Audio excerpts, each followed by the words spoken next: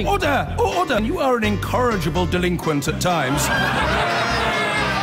Behave yourself, man!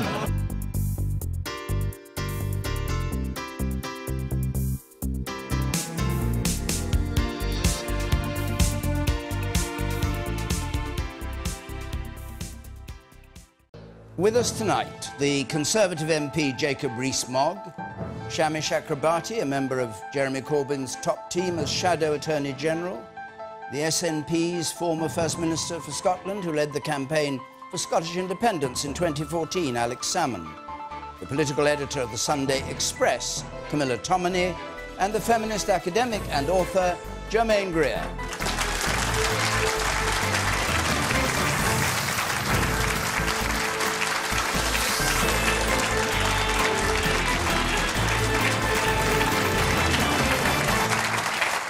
Thanks, thanks very much. And remember, as always, you can join the argument from home using our hashtag BBCQT on Twitter, on Facebook, text on 83981. You can push the red button and see what others are saying. Our first question comes from Lisa Wheeler tonight, please. Lisa.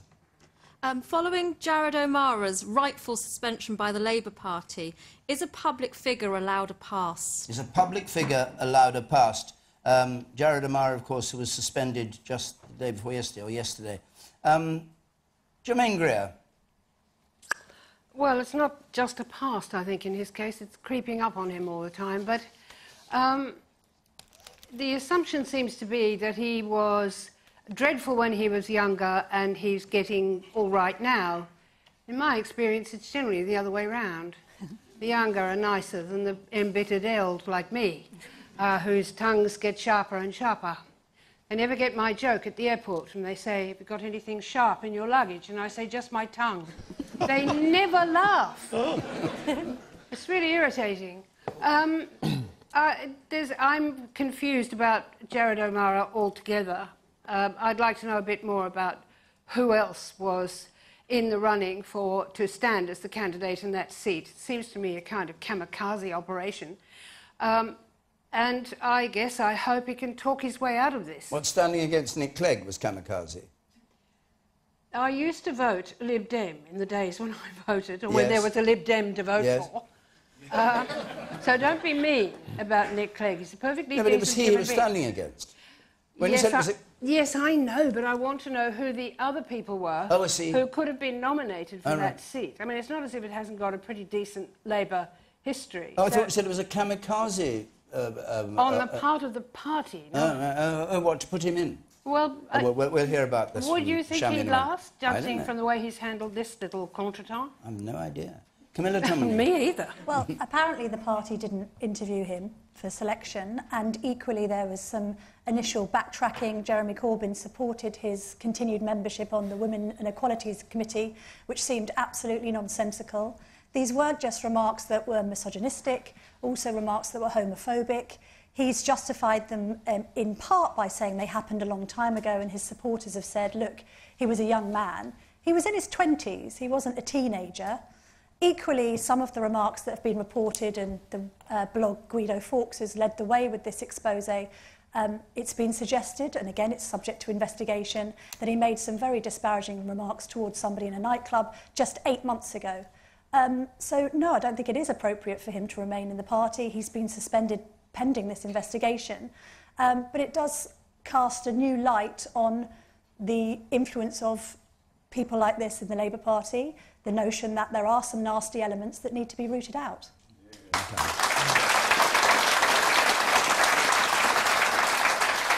Shami Chakrabarti. So Jared O'Mara has clearly done some very bad things. He's made some appalling remarks, and there's no running away from that. Um, but in relation to the question, yes, public figures should be allowed to have a past. But the question is, has this public figure changed? Now, my understanding of the situation is that initial revelations were historic. They, go, they went back 15 odd years, and he apologised fulsomely to the entire Parliamentary Labour Party in person, And on that basis, on that basis, his apology was accepted and you know, he was given a second chance, chance. Then new revelations, which are more recent and potentially more serious. And so then, rightly, um, he has been suspended pending an investigation. And just one final point, Camilla, there was no backtracking. I know it's been reported uh, that Jeremy Corbyn said he shouldn't resign from the Women's um, and Equality Committee. That's, that's not true. And of course, he did. But he did quite rightly resign from uh, that. Shami, just yeah. clarify one thing. Yeah. How long was it between the moment when you found out about the latest allegations and the moment when he was I believe that that was very, I, I believe that that was very that was very fast. It's just that it's one thing to say I was a troubled young man. It was 15 years ago. I'm very very sorry. It was a long time ago. That's that that's fine. But have you really changed? And and of course the, the you know the, the subsequent revelations and hmm. allegations are more recent. So is he, and is that's he now, why he's suspended. is and he now out of the party for good? No, he's under investigation I in mean, can he relation to work his way back or not? well, or is it? there's got to be due process. I mean, I, I believe in being firm, but I also think we have to be fair. I He's mean, as out of the party as Ken Livingstone is at the moment, which is suspended but not no, no, no, no, no, no, that's not true. I'm sorry, but I am the shadow attorney, and that's not the same because um, this. It, Jared O'Mara is currently under investigation, and therefore these, you know, these charges have to be investigated. He's got to be looked at fairly. All right, okay. And that's what we should do. You in the front, sir. Yes, I think the problem is with the ri- rise of momentum, we're going to get a lot more of this. Um, I think the Labour Party, as we know it, is should be frightened because the next election, these people are going to be put into, dropped into uh, seats without any selection, um, and it could be the end of democracy as we know it. What you're saying, he got in without due process. I mean, I he wasn't he got in checked. with- yeah, yeah. All right, and the woman there on- on the gangway, yes. I was just going to say that actually the point of the question wasn't about um, selection, etc., although that obviously is a point. It wasn't about momentum and the Labour Party generally. It was a more general question about whether or not people in the public figures um, and the um, public face of society, politicians Yeah. of all walks of life, would be entitled to a past. It's not a singling out of the Labour Party. No, Party. fair enough. What's your view? Because you asked the question. Um, my view, um, I, I agree with what Shami says that actually he has a number of things that he's done in the past, and actually I think that we've all done things in our past that we probably regret, um, unless I'm on my own, which I doubt it. Um, but the question is, some of the things he's done recently are, or the al- allegations that have been made recently, and I think I should be c- clear about that, are actually um, quite worrying, and I think Okay. that that's the thing that needs to be dealt with. A- Alex Salmond. Well, I agree with the questioner, absolutely. Yeah. One of the, probably the only thing that George Bush Jr. memorably ever said sensibly was when he was asked about, I think, alcoholism and drugs. He said, when I was young and foolish, I was young and foolish.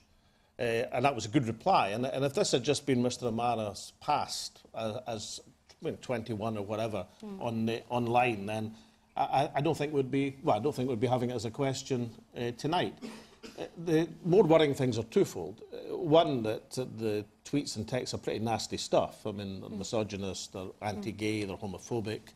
Uh, and they're not in the past, it's the present which is catching up with Mr O'Mara. Uh, another aspect is, of course, uh, what the gentleman raised uh, uh, about was he ever vetted? Uh, because the, the suggestion seems that he didn't actually go before a vetting panel, perhaps because that wasn't a seat that Labour expected to win when they were selecting the candidates in a surprise election.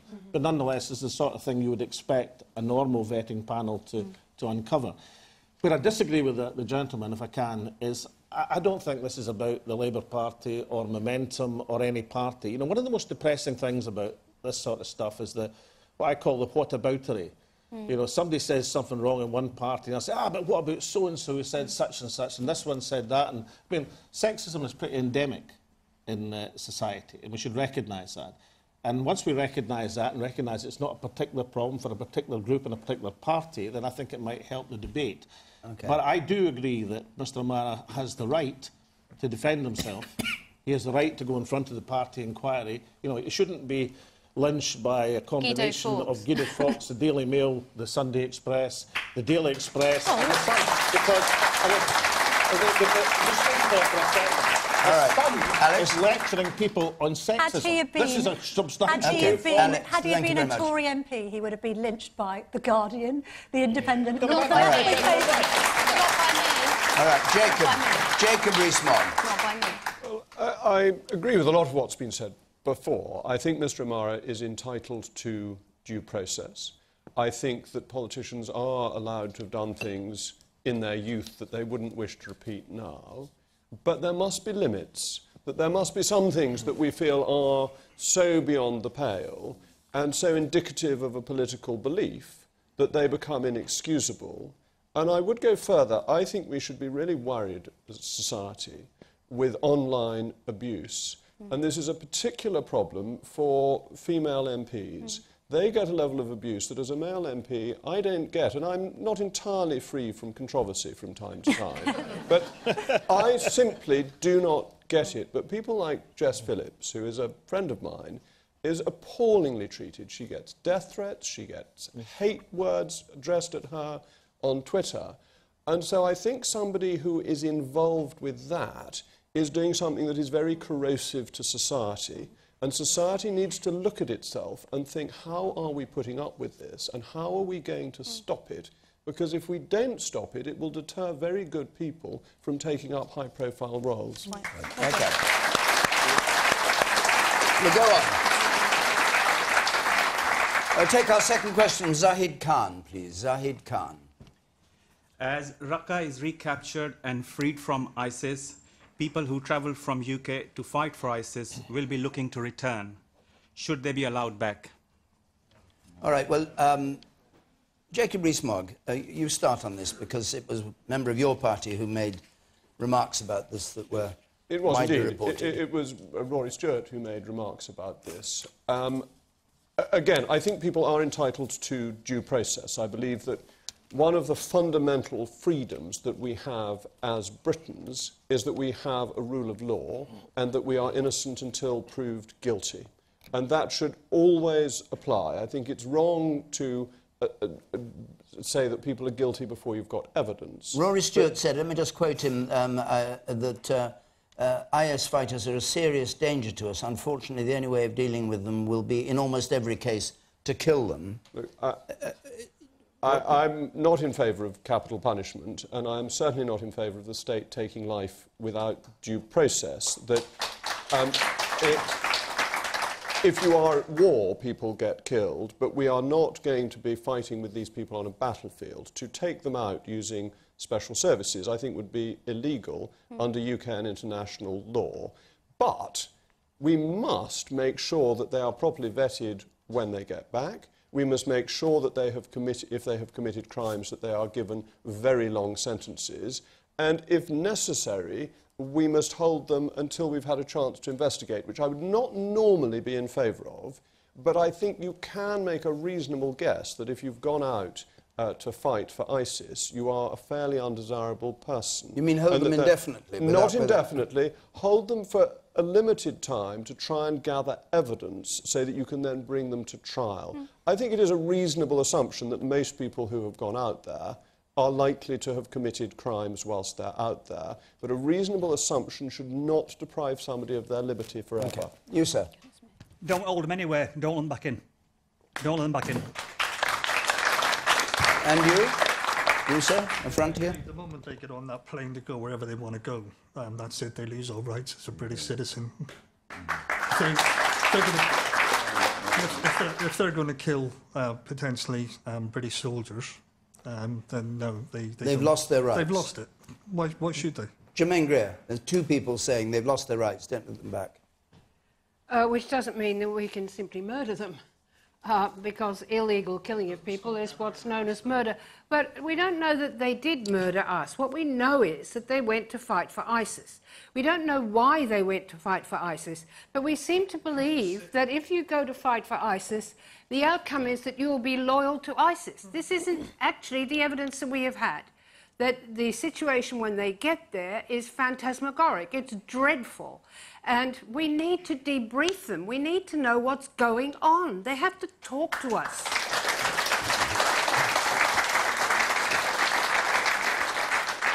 Shami Chakrabarti. Well, this is um, slightly strange for me, perhaps, because we're now about, I don't know, 10 minutes into question time. We're on to the second question, and once more I'm going to completely agree with Jacob Rees-Mogg.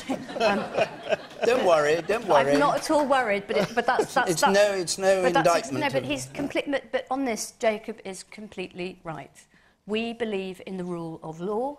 We believe in fundamental rights and freedoms, and we do not take people out rather than arrest them and put them on trial. Now, so as what, to, as what to this, Rory no, as to Stewart the said, sorry, uh, just I- to yeah. go back to Rory Stewart, Yeah. what he said you take issue with. Well, what you know, I, I- don't know what exactly he meant, and I, and I don't want to have a go at Rory Stewart, but the point is, you can sometimes use lethal force. As Jacob said, you can use it on the battlefield. You can even do it on the street of your of your town in the UK if it is strictly necessary to save life. That is lawful under English criminal law and under international law. But we are not ISIS.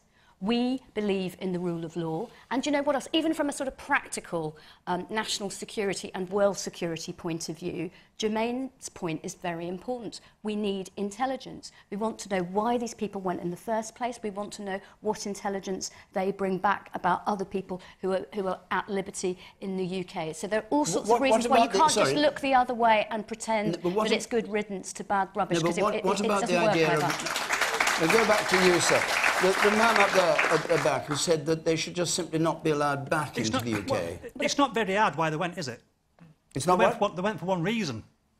Well, They went all- to Syria for one reason, to murder infidels and, Yeah, you know, the, the local population. There are people. There are people who may have been brainwashed. There are people who who may have gone as as, ro- as romantic ISIS brides who then very quickly changed that. There are all sorts of things at play here. But the point is, the world is shrinking and it's interconnected. You know, people are a danger to us over there as well as over here, and we cannot we cannot turn our back on our responsibilities at law. I was going to say, isn't one of the problem and why there's public frustration that's been echoed here um, is that some of the existing laws just don't seem to be successful in bringing these people to justice. So temporary exclusion orders, for instance, I think only one's been used. Equally, there are arguments that counteract the efforts that are being made to bring these people to task. There was a suggestion in a Times leader um, earlier in the week that we should reinvigorate the law of treason and we should make example of these people and say, look, you have committed a crime against everything that Britain stands for, Britishness itself. Um, I don't agree with um, an eye for an eye. I equally found Rory Stewart's comments uncomfortable because drone strikes usually involve some collateral damage. We look at the recent killing of uh, the so-called White Widow, Sally Jones. We still don't know what's happened to her 12-year-old son. Unfortunately, he may well have been killed with her. I'm sorry, but a 12-year-old doesn't choose to be in that situation. Hmm. Of course, his mother was culpable, but, but- I'm not but- comfortable with the collateral damage that could But be hang on. children's deaths. What Mr Khan was saying was, should they be allowed back into the UK? That was your question, wasn't it? If it? they're allowed back, fine, but let's actually No, try no, should them with they be allowed back is the Y- question. They should be allowed back. Under they arrest, should, they, potentially. they should be facing due process. But what the government needs to sort out is under what basis? What are they being tried for? Okay, you say. They've aligned themselves with a, a, a, a force that is against the West. It, it, it's, it's declared war on the West. We are the West. They've aligned themselves with that force, and, and I agree with you. I agree with what you said that um, the, the laws around treachery uh, need to be rebooted. You know, Tony Blair took those away. They need to be tried uh, as traitors. But, but a, a, a treason law which would mean that whatever their reasons, if they'd been shown to have joined ISIS, they would be imprisoned. Is that what Absolutely, you're yeah. saying? They would. Uh, Alex Salmond.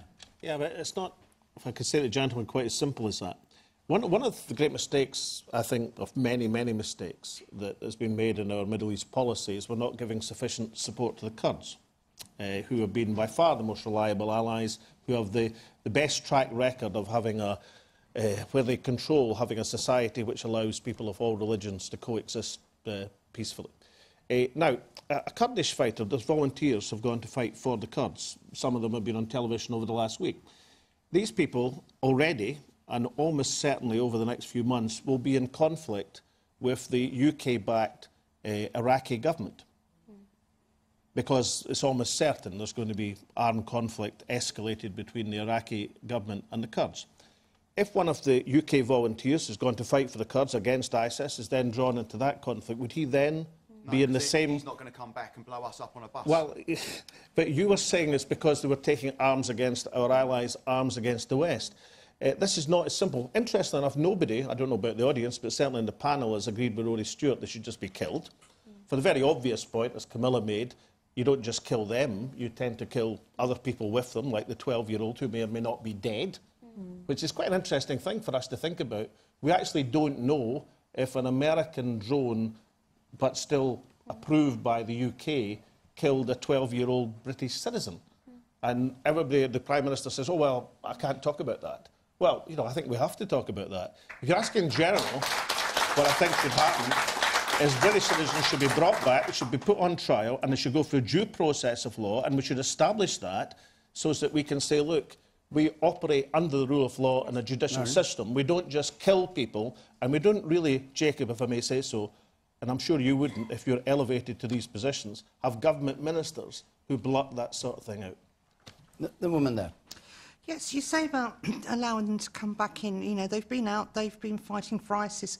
Where are we going to detain these individuals when they do come back? We've already got a prison system that's already overflowing. We also had our detention centre, which is located here, closed. So where will we put these people while we wait on trial? Because again, as the panel was saying, they've got human rights, but they are coming over and back here to come back and possibly blow us up. And the man at the back, let's just hear some more members of the audience. You, sir, with the spectacles, and then you in green. Yes. Man at the very back there. We're hearing about this in the future tense, but my understanding is a lot of these people are already back. So uh, wh- where are they? Okay, and you in green? Um, I don't understand why people are making excuses for them. They've joined a death cult against us. You've seen the videos, well, you, hopefully you haven't seen the videos, when they slaughtered and beheaded journalists. They've supported that, so why would you want people supporting that group back in the country? So what would you... What would you, what would you do? What will I do? Um, yeah, just not let them back in. They're not coming back. You've, you've made your decision. Okay. Are they not dangerous wherever they are? Yeah, but would you would you do you Not want to us. do you want do you want the danger here? They are to us. Do you want them far away from us, which majority will?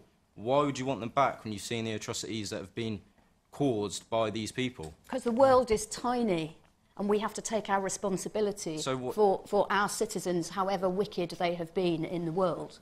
So briefly, Jacob, just the last one. Just two, two thoughts. One is that if we lower ourselves to the level of ISIS, we destroy our own values more effectively they can do it to us. And the, the second is that we actively want to get them back and lock them up. I, I agree with Baroness Chakrabarti that we need to have them in British prisons so they are out of the ability to commit any harm on the rest of us. The- in prisons? well, they, they, they are at our expense because they're British to start with, and therefore, to some extent, it is our responsibility. But our country will be safer if these people are in prison. And I want to see them locked up for the crimes that they have committed. What about the people that come, Yes, you. What about the people who've come, you, that, that's come back to this country and have been lost in the system and reoffended? Okay. The Um, audience le- makes a good point as well about radicalisation in prisons Yes. and the danger that that poses. Go on. Our current detention system has been largely, you know, criticised for causing minor offenders to be, you know, put into more serious situations with crime. Isn't that risk going to get higher if they are mingling with people who are possibly trained ISIS fighters? We don't know. We haven't seen what's happened over there. Um, you know, religiously radical. We, we don't know what they're saying in the prisons. They could be radicalising even more people who already have criminal backgrounds. All right. We'll, we'll go on. Just, have, you, have you had words with your Foreign Office Minister about what he said about killing? And I haven't spoken to him recently, no. What would you say to him if you came across him? Um, well, we might talk about the weather, you never know. But uh, uh, I, I haven't discussed it with him. I don't share his view. I don't think the right approach is for the British government it's not to, break, lawful. It's to not break our own law. Okay. We'll go on to another question. Just before we do, uh, we're going to be in Kilmarnock next Thursday and Croydon the week after that. On the screen, you can see the details of how to come and be in the audience. But I want to go on to a question from Sheena Brown, please. Sheena Brown. Should Mark Carney and the BBC admit Brexit will happen and get behind Britain instead of deprecating our nation and continually weakening our bargaining stance?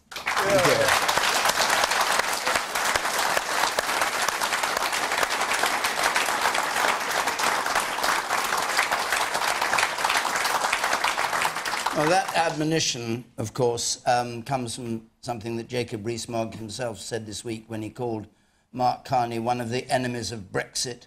He's opposed it consistently and called the BBC the Brexit-bashing corporation.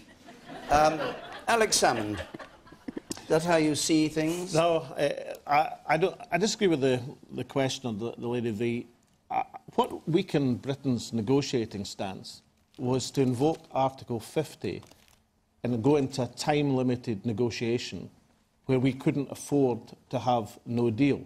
And as soon as we did that, we placed every single card in the hand of the other 27 European Union countries represented by Michel Barnier.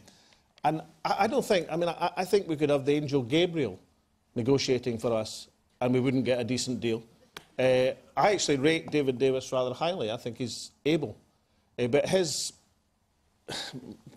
disagreement with the Prime Minister this week rather exemplified the problem he's got. On the one hand, he has to say and pretend that no deal is possible uh, or even semi-attractive, and therefore, and then he has to say it might go down to the 59th minute and second of the 59th hour or whatever it is. And then he has to say, well, of course, we said there was going to be a vote in the House of Commons before that happened, which technically, of course, then wouldn't be possible. And what it exemplifies is this time-limited negotiation, which we blundered into without securing a transitional deal at the end of it, because all of the time the clock mm. is working for the other 27. That's what's uh, weakened the UK's negotiating position, not anything that uh, the Governor of the Bank of, uh, mm. of England has said. And the BBC? Uh, well, I mean, I, of course, uh, I always defend the BBC. I don't remember. I don't remember that during the uh, Scottish referendum. Well, that's the whole point. Did you did you defend the BBC then? I didn't think so. this way, if I can give you half a compliment, I think the BBC were much less biased during the Brexit referendum than they were during the Scottish referendum. There you go. um, Shamis Chakrabarti, you next. I, I, with, with respect to the question, I do think that on this one, uh, the Bank of England and the, and the BBC are a distraction from the real problem here. They are not responsible for negotiating Brexit, it's the government. And it's the government that is failing in that responsibility. Mark Carney, we know that David Dimbleby is all powerful, but he is not negotiating Britain's exit from the EU. The government is divided, the government is chaotic, the government has no plan. And we are in jeopardy as a result. Jacob Rees Uh, thank you. Well, first of all, why I have criticised the Governor of the Bank of England and continue to do so is that during the Brexit referendum, he made the bank's views of Brexit clear in a way that he never does in a general election. He didn't give his view earlier this year on what Mr Corbyn's economic plans would do to the United Kingdom, but he did express a view on Brexit. That seemed to me to politicise the Bank of England and to besmirch its reputation. We trust the Bank of England to be apolitical, to be independent, not to be the creature of whoever happens to be Chancellor. What was it he said that particularly offended you? I mean, he said Oh, the, the risk of a leave vote could possibly the, the, include a technical recession, didn't it? Not a recession. What's he, he actually he said, said he, that's, that's right. He, he warned that there would be a technical recession, but that is a recession. A technical on, recession basis, isn't a recession, is it, actually? Well, it's a, a technical recession. It's a temporary recession, I think, isn't it? All recessions have so far been temporary in the whole well, of history. Well, uh, that depends so, on the time scale. Um, uh, a technical... A technical recession is two quarters of GDP declining. Um, he said that. He was completely wrong. The Treasury was worse. It said there would be between 500,000 and 800,000 jobs lost purely on a vote to leave, not actually anything hmm. happening, mm. just the on BBC? the vote. Dear old auntie. Um, the, the, the, the BBC, how many times have we heard, in spite of Brexit, in spite of Brexit, a record 3 million jobs have been created since 2010. In spite of Brexit, unemployment is its lowest level since 1975. Kind of in spite of Brexit, England defeated the West Indies at Lords. I mean, it is, it, it, again and again. And Have you, the, the, sorry, can, well, you actually, can you actually specify well, an occasion when you've well, heard that. You say that, but have you actually? I, can you pin? Have you got a quotation? I've, I've got some other quotations. Now, have you got a quotation saying in spite of Brexit? Well, you just have to listen to the news. Well, that, that's a generalisation. Have you got a? No, I think anyone who's listened to the news re recently has heard the "in spite of Brexit" uh, terminology, and I sure? think the audience knows sure? that. Well, uh, yes, the audience seems to agree. But the, the Sun... No, they're shaking their heads there. You found one. The, the, the, the Sun... the Sun carried out a survey of the Andrew Marr... Debate's over. Yeah, but this is quite important because the Andrew Marr show has had 84% of its people on being anti-Brexit. 129 um, interviewees against 33 in favour. That the balance of the BBC has been against. And actually, I, I disagree with one bit that um, Alex Salmond said. I think during the referendum campaign, the BBC behaved very well and tried extremely hard to be independent. It got such a shock when we voted to leave that since then I think it has behaved uh, very badly. Um, and I think that the situation we're in in terms of the negotiations is exactly what you would expect. We have the two-year time limit. If we hadn't exercised Article 50, the vote would simply not have been implemented. The government had to exercise Article 50, and it's now getting on with it. And of course it's an argument. That's the, the nature of the negotiation. The, the person there on the left, and then I come up there, and then I come to you, Germaine. Yes. You say about um, the Bank of England, Mark Carney getting involved and how he shouldn't be involved, but actually he wouldn't get involved in a general election because if we're not happy with the government, five years from now we can vote them out. With Brexit, this is an entire lifetime. It's going to take a lifetime to fix this situation, however it goes. Seems to me it makes it even more important that he should have been impartial. And the man up there? Yeah, um, with respect, I think the BBC have been biased against Brexit. Um, I think that uh, during the referendum campaign, what you often did was you got someone very intelligent to speak on behalf of Remain, and uh, you managed to get someone less intelligent to speak on behalf of me. I, I personally believe that was... No, no, not you, Jacob. You're immediate Uh, Germaine Greer. Well, it's a funny old world, as Mrs. Thatcher said. I mean, uh, we don't really like bankers very much. They seem to have got us into a terrible mess. and then, by way of getting us out of it, they got us to pay for it. And it's going on like this. We don't seem to have enough money to do anything. But the crowning glory comes when we can't find a citizen to run the bloody Bank of England. We had to go to Canada. now, why did we do that? Why didn't you get the job? well, as the gentleman at the back said, I'm not intelligent enough. So. I said you are intelligent. Camilla Tominey. Um, on Mark Carney, I think the main criticism is um, he got his economic forecasting on Brexit wrong. He talked about a recession regardless of whether it was technical or actual. And in fact, there's been five consecutive periods of growth. I think growth is up 1.9%, which was not what the Project Fear Brigade were predicting. Um, on Brexit in general, BBC bias, I think there's, what, two Brexiters on this panel and three Remainers. Um, I don't know whether you've had a Ah. panel that's been majority Brexiter, have you, David? Probably. How about the average Yeah. intelligence? This is We have. Um, average intelligence I can't comment on at all, being a lowly journalist rather than a um, lofty politician. Um, but I would suggest that actually when we speak to our readers on both sides of the demographic divide, mostly people just say, will you get on with it? Just get on with Brexit. Stop posturing, stop fighting between yourselves. And, you know, the notion of it being a minority as well, Overwhelmingly in Parliament, people voted to have the referendum in the first place. Overwhelmingly in Parliament, people voted to trigger Article 50. Overwhelmingly. 80% or more of the electorate voted for parties that supported Brexit. So just do it. So that's the government that has to just do it, not Mark Carney and not the BBC. Well, it's not just the government, is it, Shami? It's also the EU, who, despite this conciliatory offer from the Florence speech, are digging in their heels, even though a deal for them is mutually beneficial. This is what's lost in a lot of the rhetoric. Did the German car industry seriously want to shoot themselves in the, o- their own feet by not having a free trade agreement with the UK? That would cost the German car industry alone 29,000 jobs. Right? The trouble is, the Remain argument, I'm afraid, it fails because everybody knows deep down that if we do, if we do get this cake and eat it scenario, we can have free trade with Europe mm. and we can have free trade with the rest of the world. That is infinitely All right. better. But it's, the, it's your Chancellor of the Exchequer, isn't it, who says a cloud of uncertainty over current negotiations acts as a dampener on the Th- economy. This is such an opportunity. When we leave, we can set our own tariffs Tariffs set at the European level make food, clothing and footwear more expensive. They are the highest proportion of the poorest in society's expenditure. If we can get rid of those tariffs, hmm. we help the worst off in society. That is a real benefit. So why And you does your know- Chancellor of the Exchequer not because accept all this the and sound so gloomy? Because all the Treasury forecasts assume that instead of cutting tariffs on the rest of the world, we raise tariffs against the EU. That is completely insane. The Treasury's forecasts are even worse than the Bank of England. Can I just say to Mr Salmond, you're being deliberately disingenuous. You say we should have gone to the EU and sorted something out before we activated Article 50. You know as well as I do that we weren't in a position to negotiate until Article 50 was activated. No, the, Uh, I, yes. I, I think at that stage, this is earlier this year, the EU were desperate to have Article 50 invoked. Yes. Uh, there's no reason for the government to do it. The government should not have invoked Article 50 until the transitional period was agreed. But we couldn't do and- anything with Europe no, until we why? activated But Article 50. look, It's, it's like uh, who blinks first.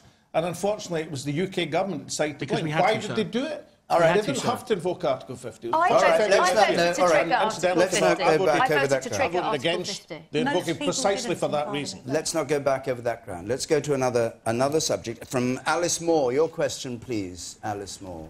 Who should be held accountable for the low and decreasing numbers of poor and non-white students at Oxford and Cambridge? Who should be held responsible for the, well, we got the figures the other day, the decreasing numbers of poor and non-white students at Oxford and Cambridge? Germaine mm. Greer. This is a really difficult question. I mean, the, the very suggestion that we've had to heed that we could lower the points required at A level in order to allow poorer students to attend the elite universities is insulting to them apart from anything else. Um, that is not the problem there. Part of the problem is that these universities are not actually particularly merciful to people who come from a different social class to the middle class that they are at ease with. I mean, we've all heard the stories of the girl who came to Newnham who uh, didn't know how to sit in the bath. She sat with her back at the tap end, and everybody sneered at her because she didn't have a bath at home. Um, they didn't go skiing on their holidays. She had never been abroad, and all that sort of thing. They're very snobbish places, but you can still crack it. I mean, you c what our real problem here, I think, is that we don't have enough scholarships. From, for the last 40 years, when I was still a fellow at Newnham, I was saying there's only one way we'll get the right students. We have to do what we have to do with everything else. We have to buy them. And we have to give them a deal that is wonderful, where their fees are paid, they're well housed, they have travel allowances, they have books, and we actually get the best out of them. Instead, they struggle. They struggle against trying to read the encoded social language of the institution. And the institution is probably not the thing you think it is. You know, we, Cambridge is what now? The second research university in the world? But that doesn't reflect the undergraduate body at all. And it certainly doesn't reflect the teaching. And one of the things that drives me crazy is when you go to university, you don't get taught by the people you've heard about who teach at that university, you get taught by a graduate student. This is not the deal. This is not. This doesn't justify the enormous amount of money that we have to spend on the Russell Group. There's one other thing. Is, is, uh, is it the case that some secondary, state secondary schools are pessimistic about getting their pupils into the Russell Group universities, Oxford and Cambridge, and don't actually push them, don't actually offer them that as an opportunity, but say that's not for you for the reasons you've been describing? Look, that may be the case, but I think they're also quite likely to know uh, that the students in question would be happier somewhere else. There are other universities that are more encouraging. Uh, Cambridge can be profoundly dismissive. If you haven't read the right books, if your family doesn't have books in the house and so forth, you can gradually feel that you are permanently disadvantaged. and that's still true now. Is it still true now? Well, I haven't taught at Cambridge for a while, and I didn't teach that way when I did. But I was pretty well aware of it. Um, what it's, What's happening now, I think, if we did have a healthy scholarship system where students could actually correctly choose their university. Now, they're not all going to be happy doing the tripos. And the tripos's usefulness is, could be challenged. There are other things that might be much more Okay. Camilla, worthy. Camilla Tominey, Um, thank you very much. I think as well the problem starts at primary and secondary education because we are in a two-tier system. We don't have grammar schools anymore, but we have selective schools where really you can only get your children in if you tutor them. And that costs money. And that then means that poorer families who have got bright kids can't get them in because they haven't had somebody who they're paying every Sunday morning to teach their children verbal and non-verbal reasoning. Whether that's a skill that judges children on their academic ability or not is up to teachers decide. I equally think as well when it comes to bursaries that um, a lot of poorer families just don't think that's for them. Interestingly, now that the grammar schools revolution has been put on the back burner, free schools are having a lot of success in deprived areas. Uh, during the Tory party conference, I spoke to Toby Young, who's obviously been heavily involved in that movement. And at the school in Newham, which was started seven years ago, so it's now coming to fruition, and some of these children are making university applications, 15 of these kids have got into Oxbridge. Now, that would have been unthinkable with the previous system and without this free school. So clearly needs, more needs to be done. You sat there. Oh, I disagree that it's the um, secondary school because I went to a state secondary school and they, if anything, encouraged you to apply to uh, go to the higher universities. They pushed you towards that. And I managed to get good results at my GCSEs, and that's not putting me off trying to apply to Oxford or Cambridge. And you're doing that now, are you? I will next year be Next applying year. to those universities. Uh, Alex Salmond. Well, let's uh, wish the young lady every success, but I think the responsibility does lie with Oxbridge. Uh, the, if you have it just on qualifications, most state school pupils will be at disadvantage compared to most private school pupils. Because public schools in England will teach not just for the exams, but they'll teach for the entrance requirements. And therefore, if it's only grade against grade, you'll get the situation of a, a substantial social disparity. There's also a, responsibility for the government. I mean, fees, which are totally and utterly outrageous in England, uh, are a bigger disincentive for lower income families than they are for higher income families, obviously. Being, you know, 40, 50, 60,000 pounds a debt is a big disincentive, and you should do something about English politicians who try to retain such an unequal system. But lastly, because we've still got a problem in Scotland with some of our, you know, like St Andrews, for example, not, not on a racial basis, but on a working, you know, a working class basis. And I've come to the conclusion that the only way you can actually tackle this and do it so that people don't say, oh, well, I had so many A's and I didn't get in when somebody else got in with lower grades, is to have a, a system of certain amount of entries out with the examination system. I think people should qualify through the Duke of Edinburgh Award scheme or through voluntary work or something like that. They should be taken to these universities for a summer school over a period of perhaps six weeks, uh, assessed over that school, and that could be a form of entry along with the scholarship system that Germaine uh, Germaine said. And the reason that I think is, I hope that uh, such a system might be introduced in Scotland, and I would commend such a system for Oxbridge to try and have the social diversity that this nation of England should demand from its top universities. Al- Alice Moore, what do you, what do you think? Um, as a former teacher, I agree with the young lady up there. It's not about poverty of aspiration at schools at all. Um, we encourage our students to aim as high as they can. I think what Germaine said, a kind of, um, you know, the social playing field, it's it's completely uneven. You know, if you see, if you don't see anyone around you, if you don't have anyone in your family that's been to these kind of places, it's just such an unfamiliar. You know, the the cultural expectations are so unfamiliar to you. I think that is off-putting. So, so it, what do you think should be done? That's not my job to decide. Shami Chakrabarti, what do you think should be done? I think that there is a, a greater responsibility on these so-called elite universities to demonstrate that they are for, for everyone and that they need to, they need to take more positive steps of the, of the sorts of things you've been mooting, but they should be actively recruiting. They should be actively sending staff and, and recruiters and people to go and speak in state schools in poorer parts of the country to, to try and bust this idea that you're not, you're not welcome here. But I do think that the government has a responsibility too.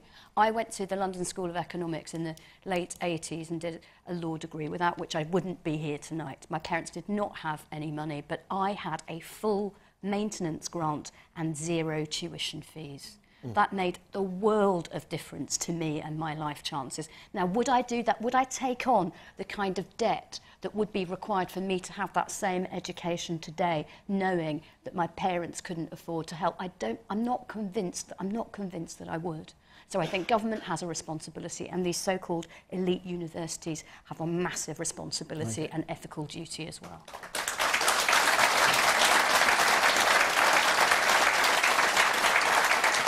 Yes, the, the woman there in the fourth row. One, two, three, four from the front. Yes. I think that equality is such a complex issue. And I think one of the main things we need to focus on is whether we're um, talking about equality of outcome or equality of opportunity. Because equality of opportunity won't necessarily pr- produce equality of outcome. So, for example, if you have, you, if you're striving for equality of outcome, if you have 50% women, 50% men. But equality of opportunity means that everyone gets the same starting position, but it doesn't mean they all reach the same place. So it's much more complex than saying, oh, we should strive for equality. You need to really think about what equality means. Um, yes, but the question was about the numbers going of poor and, and uh, non-white students. Uh, Jacob Rees-Mogg. Well, I actually agree with what the ladies just said. I think that uh, you want to have an equality of opportunity, but that may mean that you need to help people to get that opportunity in the first place. Um, it's worth noting on, fee- on loans, student loans, they have actually led to a very large increase in the number of people going to university from the poorest decile of income. And that's quite interesting because it's not necessarily what you would expect, but it has encouraged the poorest to go to university. I, I very much agree with Germaine Greer that I think having uh, bursaries and scholarships so that people will really be incentivized to go through uh, university. And I think, dare I say it, that people who have had the good fortune that I've had and go to schools like Eton, where I was with your son, as I think many people know, um, uh, uh, when, when you've had that great advantage, it is not unreasonable for the people examining you when you get to Oxford and Cambridge to recognise that you have had every possible advantage, and somebody who hasn't had so many advantages, but who may have done less well in the exam, may actually be cleverer and more able. And I think it's perfectly fair to maintain equality of opportunity by recognising that there have been inequalities in the early But there is, a, there is a distinction, isn't there, between the number of uh, people, the percentage of people from the lowest financial decile, economic decile going to university, and the numbers going to Oxford and Uh, Cambridge. that's- That that's the- absolutely true. And, and is it important, in your view, that uh, the entry to Oxford and Cambridge should be opening up in the same way as all the other universities? Absolutely. It's very important that Oxford and Cambridge uh, maintain their world-beating standard, and therefore they should not take quotas, but what they should do is make it as easy as possible for clever people from disadvantaged backgrounds to get in and going out to schools. And it's brilliant here that schools are encouraging people to apply, because certainly anecdotally, once heard the reverse, and that some pupils are told, don't try for Oxford and Cambridge, it won't suit you. And that really shouldn't happen. That should be strongly discouraged. And schools should work with the universities to encourage bright people to go, not just because that's the right thing to do for the individuals, but it's also very good for the country. That if our brightest people get the best education, that is going to be very good uh, for the country over the next generation. Be able to have a UK uh, Bank of England um, bloke to run the bank. Yeah, you. mm, uh, yes. I'm just muttering to myself. You in black and in the black dress. There. Yes, you on the bank on the gangway. No, the woman on the gangway. Come on, there. Thank you. But if we only have a small tokenistic amount of places opened up, the culture and the support that's available to them when they arrive at Oxbridge and maybe are mixing with the elitists from the public schools, it gives that impression of them feeling different and as if they're being a worthy cause. We need to really challenge the culture and the support in these universities that make it an accepting and welcoming place for a more diverse range of students to go. And, and the woman behind you in the row behind there. Yes? I'd like to suggest a civilian form of national service for 18 year olds. Um, about a third of the time, the work that they would do would be some form of education. Uh, they would also do work and sport. And the people in charge of national service would be able to assess. I loved what Alex suggested about um, other routes beside educational qualifications that would assess character, leadership, and it would also have people of different classes mixing together. So compulsory national service before that. Yes. And then can you go along the row to the second person from the end there? You, yes. Um, I think we need to stop skirting around the issue, really. If you're a child and you're in a class of 34 students, your TA is no longer there because of the budget cuts, how are you going to have the same opportunities, the same quality of teaching as those in private schools in a class of 10? Yes, Elaine here. Actually, I think that already Oxford is doing a lot of the things that Alex Salmond mentioned. There is such a thing called contextual admissions, where things are taken into account, such as the sort of school one went to, and therefore how likely it is that one would have got good A levels. And also, I feel, and I, I work here at the University of Portsmouth, that it is a case that students should be choosing the university that gives them the education that they need. And here, a lot of that is applied, real life professional practice. Okay, and last word from you. Uh, yes, I, I agree with I agree with the uh, questioner that it's a societal problem rather than an elitist problem. Um, my father was actually uh, the admissions tutor at uh, Oxford, at St Peter's College, Oxford, when he retired, and um, and the bane of his life was quotas for different ethnic minority uh, students. Um, he frequently told me that um, he had to choose less uh, academically able students just because of the places and the uh, backgrounds that they come from. And, ac- and at the end of the day, Oxford and Cambridge are centres of academic excellence, and that should be championed above. above uh, Well, can, can, I, can I give you a case study? Glasgow University and St Andrews University. I, I've had interest in both. I'm a doctor of Glasgow University. I was a student at St Andrews. Now, they're both highly rated, internationally orientated universities. But Glasgow has a huge social mix in its student population. St Andrews doesn't. Uh, and I think the, the idea that you maintain excellence by having a fairly exclusive social mix Absolutely. is entirely wrong-headed, uh, is entirely mistaken. And I think the, these two examples of two outstanding universities, but one of which Mm. I think fulfills its duty to the population as a whole by educating people across the, the social spectrum, Quite. and the other, I'm afraid, does not. Quite. Okay. Uh, very briefly, very briefly. I disagree in, entirely with that. Um, at, the, at the end of the day, uh, Glasgow isn't as sought, a sought after place as St Andrews. And, Oh, all right. Well, I wouldn't go down that road with him here. well, uh, no, okay. I think we'll leave. it. Thank you for the point there, but we'll we'll, we'll be in Scotland next week. We can discuss it. Yeah, yes, yes. Very, very brief. J- I'd just Germaine, like very to briefly. make would. one simple point. I, I have taught all my life, and I've taught people who came from the same sort of background that I did, for whom, for example, uh, Cambridge was a terrible environment. They were absolutely miserable.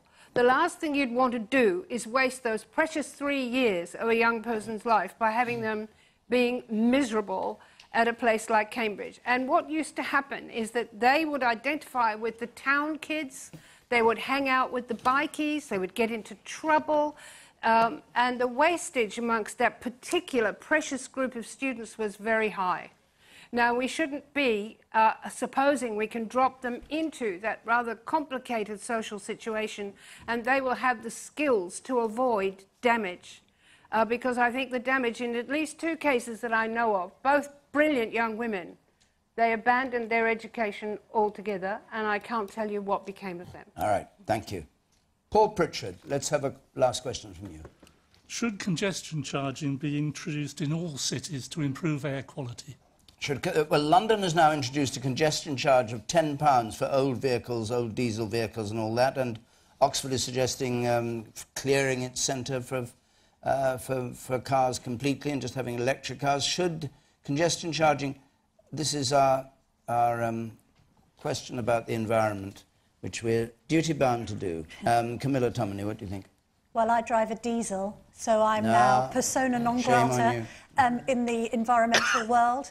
Having been encouraged to buy a diesel, of course, because I was told that it was more fuel efficient and that it was better for the environment until all of that scientific evidence that was presented by Labour was roundly debunked.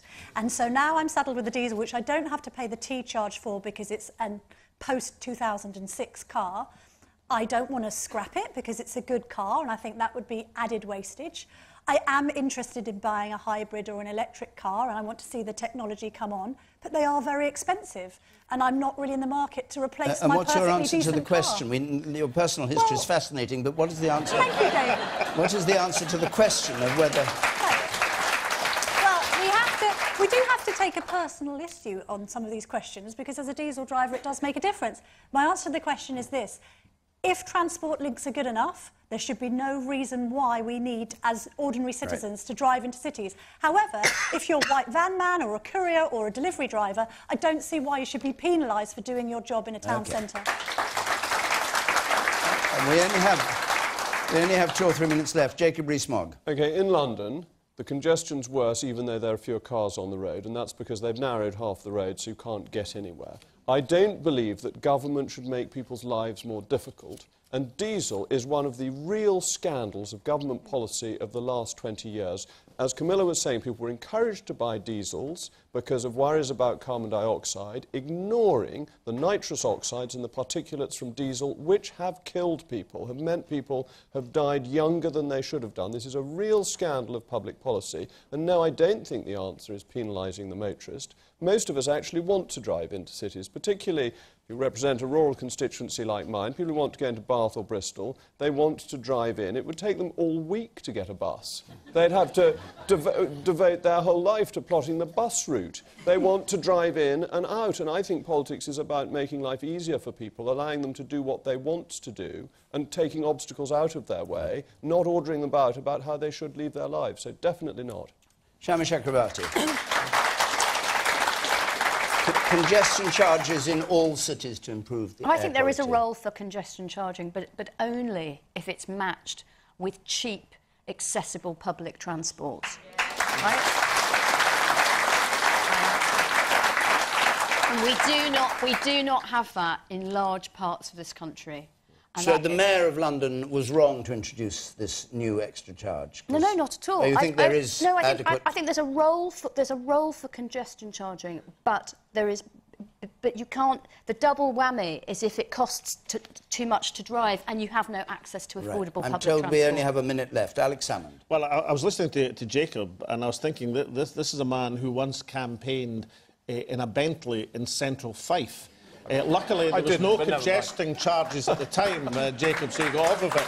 Uh, I, I, I, I agree. Congestion charges are fine if there are options, either proper public transport or the move to, to electric. A hundred years ago, Andrew Carnegie was running electric taxis in Skibo Castle in the north of Scotland. And I think that technology didn't come on because the internal combustion engine ruled, and we should go whole scale, full tilt for it now and give people that right. cheap option that even Camilla uh, will be able to afford. Okay, I said we only had a minute, and I meant it. Germaine Greer, you have about half a minute as a result of that. Look, taking money off people makes no difference to air quality whatsoever. There's no connection between the two Okay. ideas. Thank you, Germaine. Thank you for the brevity. I was hoping you might take the question, which you will understand, about how you felt about recovering from an operation in the home of a stranger, which was this proposal for Oh, £50. that- of yeah, course, yeah. Airbnb, but we can't get to it because our time's up. Shame. I've been